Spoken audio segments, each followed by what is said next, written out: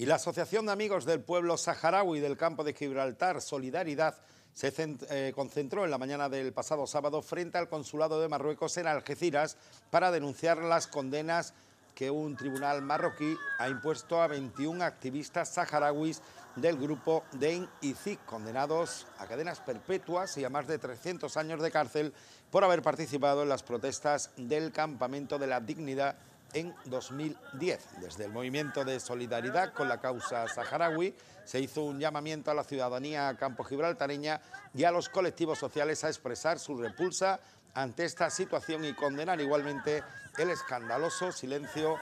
aseguran, del gobierno español.